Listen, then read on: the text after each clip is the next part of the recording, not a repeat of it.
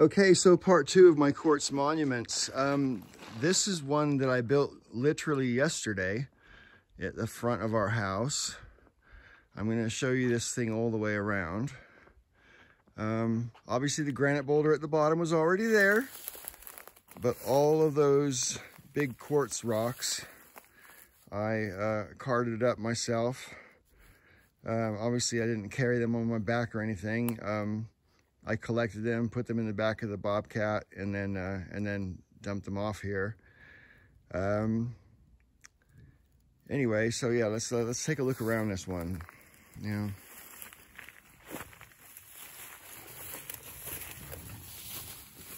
You got the three uh, towers on the top. Goes down here. That's our hole in the granite for the flagpole. So this will be surrounding the flag, um, right in the sunlight there. This will be surrounding the flag the 4th of July. And can you see that little bridge that I made there? And then the rocks on top. So you come swooping in like this and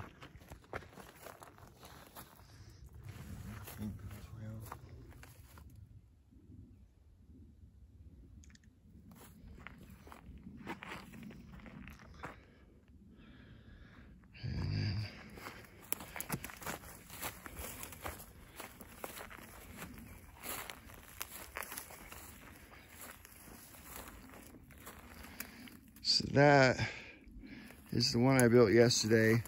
And that is probably going to be the last one that I do uh, for a while until they fall apart. Because, especially this one here, which I did last weekend, um, as you can see, the top rocks are relatively precarious there. So when the snows happen, this one's a goner.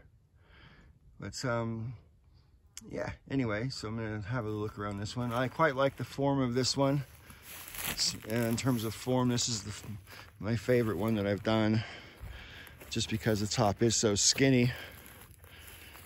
Oops. Let's come in a little bit.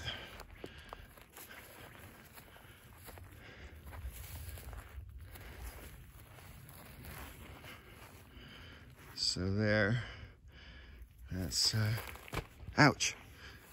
I just uh, took a chunk out of my knee just then. So yeah, that's uh, that's my uh, my second tower. All quartz, no granite, no amethyst, just like the first one I showed you there a moment ago. And uh, once the rain comes along and washes most of the dirt off of this quartz, and it's going to be nice and gleaming white, and I think it's going to be really pretty. Anyway, uh, thank you for watching. May all your ups and downs be ups.